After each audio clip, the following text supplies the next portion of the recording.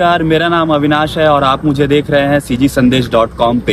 विगत 19 नवंबर से नगर पंचायत के कर्मचारी अपनी कुछ मांगों को लेकर हड़ताल पर है।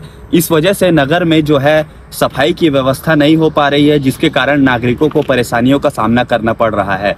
आइए हम जानते हैं कि अपनी मांगों को लेकर नगर पंचायत कर्मचारियों को क्या कुछ कहना है। क्या नाम है आपका? मनोज संदरिया आप क्या काम करते हैं? हम लोग नल चालक हैं। नगर पंचायत के जी जी। तो आपके द्वारा पिछले कितने दिनों से हड़ताल की जा रही है और हड़ताल के पीछे की क्या मांगे हैं? हमारा लगभग तो उन्नीस दिन हो चुका है हड़ताल और हमारे जो मांगे हैं ठेका पद्धति से हमको हटाया जाए ठेका पद्धति जो है उसको निकाला जाए यहाँ से हटाया जाए और सीधा जो निकाय से पेमेंट किया जाए। जो अन्य विभाग को मिलता है वो हमको डायरेक्ट मिला जाए। जो ठेकेदार को फ़ायदा मिलता है वो ना मिलकर हमको मिलना चाहिए। तो अभी क्या समस्या आ रही है? अगर आपको ठेका प्रथा में जो राशि है दी जा रही है तो। बहुत ही कम है बहुत ही बहुत ही लिमिट मात्रा में है। आठ नौ हज़ार रुपये में उसमें भरण पोषण करना है अपने परिवार पालना है पोसना है और शादी बार भी है जो भी है और कार्य है उसमें बहुत ही कम ही है एकदम।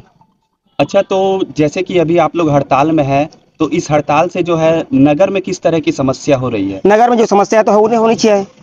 कचरे जगह जगह फैले हुए हैं हम्म, पानी की समस्या है हम्म। हर जनता जनार्दन को समस्या हो हो रही है पूरा। तो अपनी मांगों को लेके आप अभी तक किनसे किनसे मिले हैं और आपको किस तरह का आश्वासन मिला है? हम तो जिला से भी संपर्क कर चुके हैं हम्म, और हमारे जो है जनप्रतिनिधि से संपर्क कर ही रहे हैं। हमारी मांग ठेका प्रथा को हटाया जाए। हाँ, पहला मांग ये। हाँ, दूसरा नगरीय निकाय में कार्यरत प्लेसमेंट कर्मचारी। को शासन के अन्य विभाग जल संगठन पीडब्ल्यू पीएच वन विभाग के तर्ज पर निकायों के सीधे वेतन का भुगतान किया जाए। तीसरी मांग हमारी यह है कि समस्त नगरीय निकाय में प्लेसमेंट कर्मचारी को चार हज़ार श्रम सम्मान राशि प्रदान किए जाए चौथा मांग यह है कि पाँच दस पंद्रह बीस साल से जो कार्यरत हैं कर्मचारी को उसको नियमित किया जाए। यही मांग है। क्या नाम नाम है आपका और आप किस संगठन से हैं? कावेरी चौधरी हम लोग स्वच्छता विभाग से हैं। स्वच्छता दीदी लोग हैं। तो किन मांगों को लेकर आपके द्वारा जो है नगर पंचायत बसना में हड़ताल किया जा रहा है? सबसे पहले तो हम लोग इतने दिन तक काम कर रहे हैं और कम राशि मिल रहा है। इतना महँगाई का दिन है और अपने को सात हज़ार दो सौ मिल रहा है। तो हम सरकार से चाहते हैं कि हमारा भी मानदेय बढ़ाया जाए।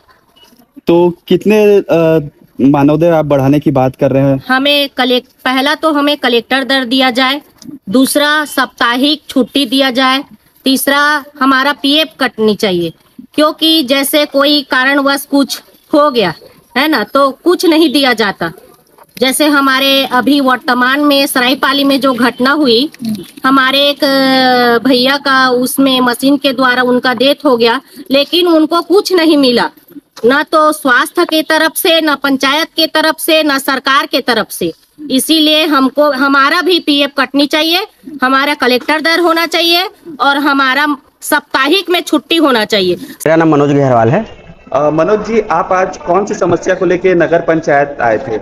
आ, हमारे वार्ड में साफ़ सफ़ाई नहीं हो रहा है अभी कुछ दिनों से। शायद नगर पंचायत के कर्मचारी हड़ताल पे हैं। इस विषय में नगर पंचायत आया हुआ था साफ़ सफ़ाई करवा देते उनके। तो क्या हुआ? आपकी किसी तरह की कोई समस्या का समाधान हुआ? किन अधिकारियों से मिले आप? अ, अभी तो किसी अधिकारियों से नहीं मिल पाया हूँ। मिलते हैं उनको बताऊँगा कि हमारे वार्ड में समस्या है उनको जल्दी निराकरण निराकरण करें। अधिकारी से नहीं मिले अधिकारी आज अनुपस्थित हैं ऐसा आपका कहना है?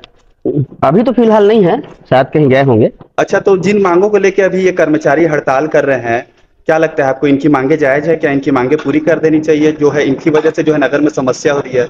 हाँ ज़रूर क्योंकि बिना कर्मचारी के तो नगर पंचायत का कोई भी काम होना नहीं है। इनके समस्याओं को निराकरण करना चाहिए। लगभग 20-25 सालों से लोग कर्मचारी सेवा दे रहे हैं नगर पंचायत में नगर पूरा हर गली गली में। तो इनके मांग तो जायज़ है इनका पूरा करना चाहिए।